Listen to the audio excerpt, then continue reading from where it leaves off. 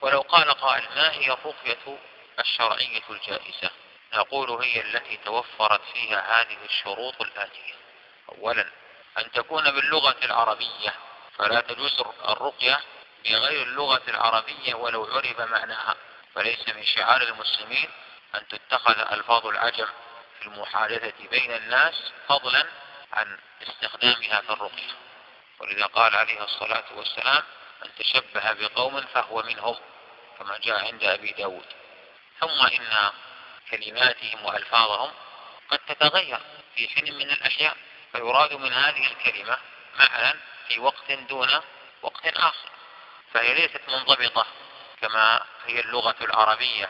فاللغة العربية باقية. لما؟ لأنها مرتبطة بالقرآن.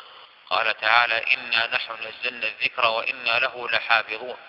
فتشرفت اللغة العربية بهذا الشرف لأن القرآن نزل بلغة العرب.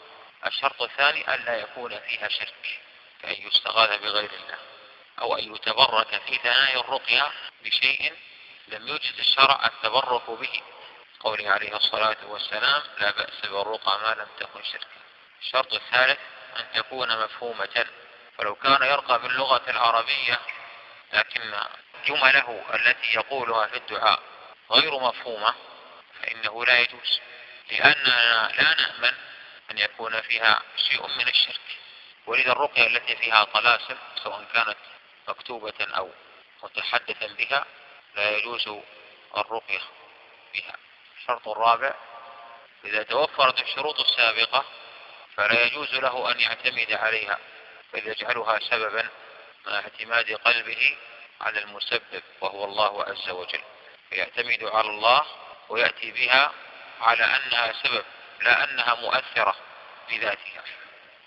ومن ثم فإن بعض العزائم وهي تسمى عندنا بعزائم وهي الآيات أو الأدعية النبوية المكتوبة بزعفران يجب في استخدامها أن تكون واضحة. فلو كان معظمها واضحا إلا نزرا يسيرا فلا يجوز. كل ذلك من باب سد الذرائع.